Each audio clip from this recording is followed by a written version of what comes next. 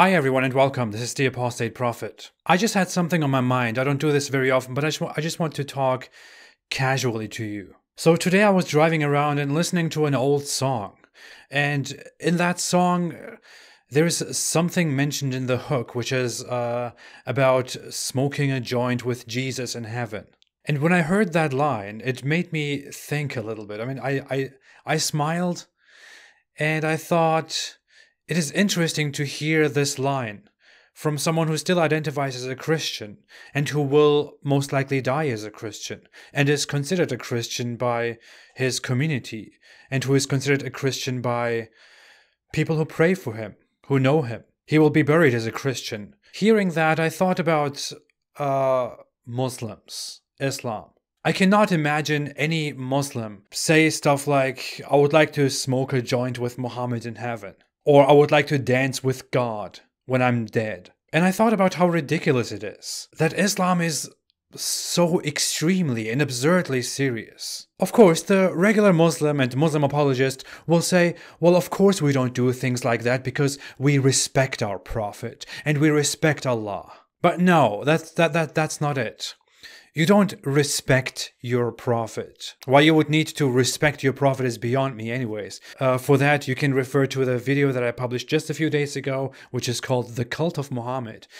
But you don't respect your prophet and you don't respect Allah.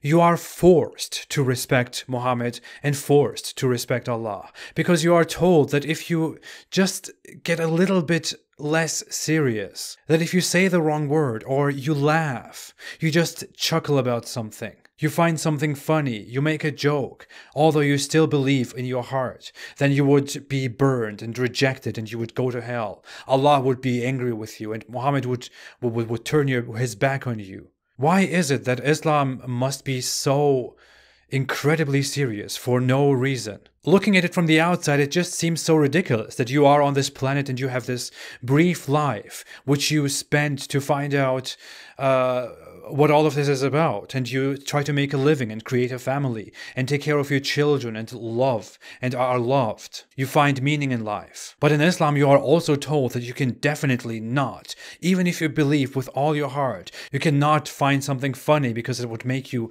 an enemy of Allah, possibly. And may Allah protect you of that. Why do people have such a stick up their ass with Islam? How is this in any way healthy?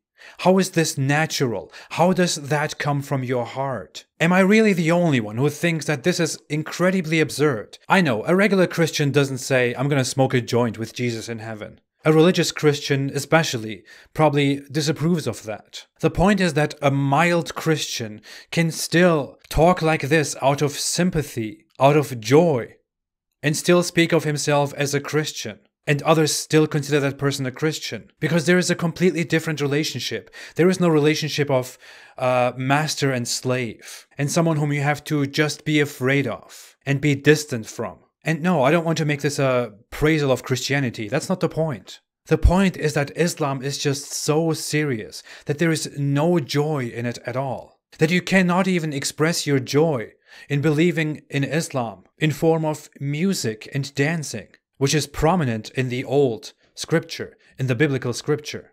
You can't make pictures. I mean, have a look at how boring and how depressive Islam is. You can't sing, you can't dance, you can't make jokes, you can't laugh. What you can and can't laugh about is incredibly limited. You are taught to reject and to hate. There is no art in Islam, no creativity, nothing. It is just so serious and so devoid of joy.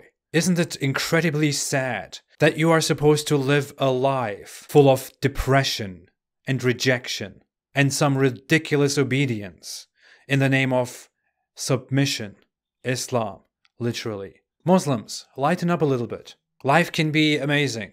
And no, I won't go to hell and be punished because of what I just said. Stop being so terrified. I mean, we could just laugh together about things if you didn't want to kill me. Anyways, that's all that I wanted to say. Thank you so much for listening. I will be back very soon. Have a great day, and as always, stay away from Islam.